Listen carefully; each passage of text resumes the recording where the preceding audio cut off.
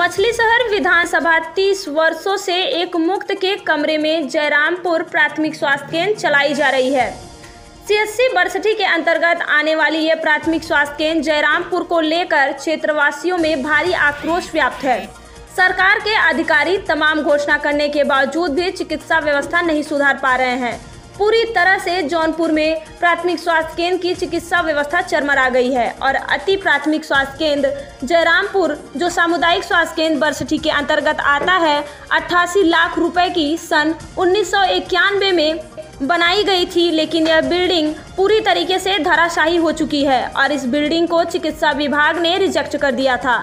इसके बाद चिकित्सा विभाग नई बिल्डिंग नहीं बना पाया और एक कमरे में 30 वर्षों से बिल्डिंग चल रही है। क्षेत्रवासी शीघ्र ही बड़ा आंदोलन करने की तैयारी में है, जहाँ योगी मोदी सरकार तमाम घोषणा कर रही है कि चिकित्सा व्यवस्था सुधरेंगे। वहीं जौनपुर में पूरी चिकित्सा व्यवस्था चरमराती नज़र आई और फर्जदायगी बस या स्वास्थ्य केंद्र चलाया जा रहा है। मुख्यमंत्री आरोग्य मेला के दिन यह कैंप लगता है। शेष अन्य दिनों पर एक चपरासी केवल कमरे का ताला खोलकर दो चार लोगों को दो चार टिकिया दवा देते हैं। कुल मिलाकर के यह चिकित्सा फॉर्मेलिटी है। और जनता चाहती है कि बैंकों की तर्ज पर एक कमरे का मकान किराए पर लिया जाए और उसी कमरे के मकान में शिफ्ट किया जाए। यह प्राथमिक स्वास्थ्य केंद्र जब तक कि इसकी नई बिल्डिंग नहीं बनाई जाती, अन्यथा जनता आंदोलन करने के लिए तैयार है। देखिए मछली शहर से अभिषेक उपाध्याय की रिपोर्ट। मैं समाज सेवी जय सिंह इस समय प्राथमिक स्वास्थ्य केंद्र जयरामपुर, हरिपुर में उपस्थित हूँ। यहाँ पर सबसे बड़ी दिक्कत है, हमारे सारे चिकित्सक उपलब्ध है। आज मुख्यमंत्री आरोग्य मेला का दिन है।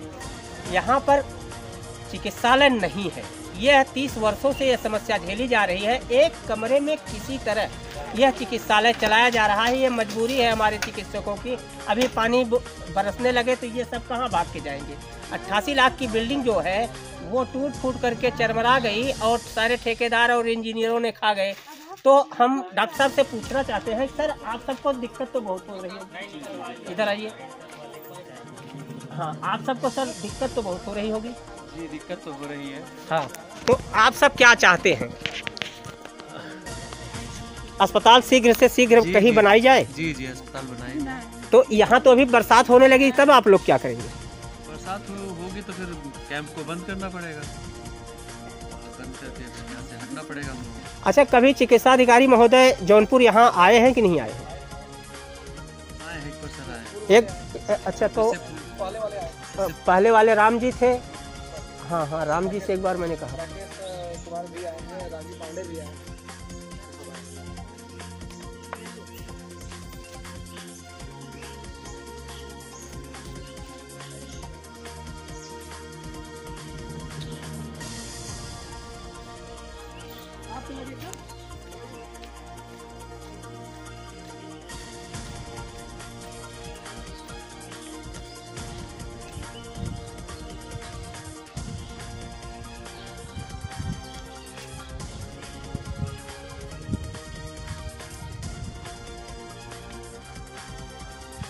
इसी एक कमरे में अति प्राथमिक स्वास्थ्य केंद्र चल रहा है, ये मजबूरी बस चल रहा है।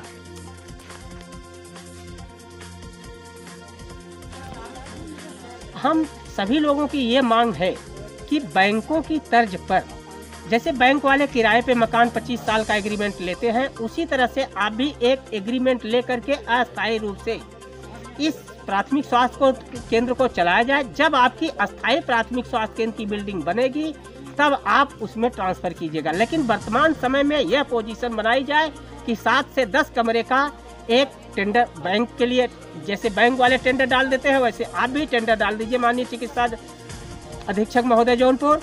आपसे अनुरोध है कि एक टेंडर डालिए, अभी आपको किराए पे मकान मिल जाएगा। उसी मकान में ये कायदे से शिफ्ट कर दिया जाए, जिससे कि बेड बिस्तर सब वहाँ रख दिया जाए और कायदे का ट्रीटमेंट हो।